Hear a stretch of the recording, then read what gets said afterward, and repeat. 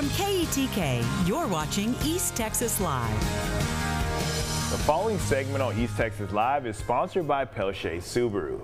Welcome back to East Texas Live. Becky with the SPCA of East Texas is back, and she's here with Bijoux because he is looking for a forever home. Thank you so much for being here today. Oh, thanks for having us. So first, can you just tell us a little bit about Bijoux? Bijoux, he is an adorable one-year-old little boy.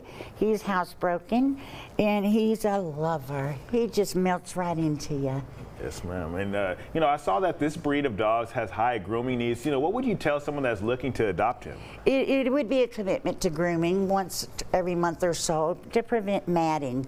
So, and it'll just fluff his hair up, make him pretty every time. Yes, ma'am. And you know, online it also said this breed is very friendly. Do you think he'll be good around other dogs and cats? Yes, I do. I had him in my office. I have a cat in there, a nanny, and they visited, no problems at all. And he's good with big dogs as well. Yes. So he's just an easygoing guy. And you think he'll be all right with little kids? Yes, very good with little kids. They're a gentle breed.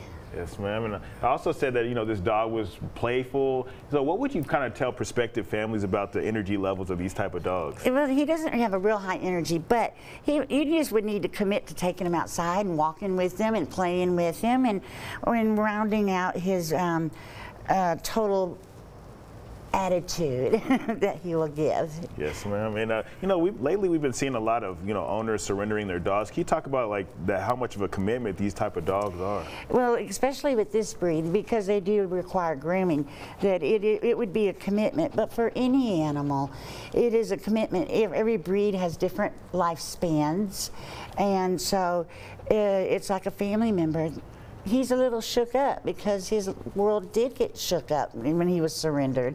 So he's just looking for somebody who'll love him. Yes, ma'am. You know, they say these dogs are good for very, you know, for first-time pet owners. Can you talk about that? You know, what, you know, if somebody's kind of skeptical, what should they, you know, do? Uh, well, come and meet and spend some time with them. But this one is really good as a new pet owner because they're such a mild-mannered dog.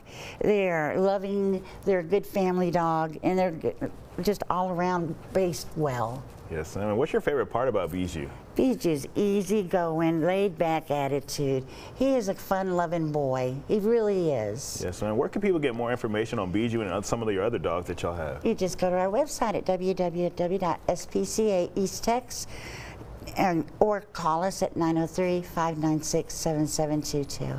All right. Well, thank you so much, Ms. Becky, for coming in and telling us all about Bijoux and all your other dogs. Ah, thank you. Yes, ma'am. For more information, you can go to the website right here on your screen.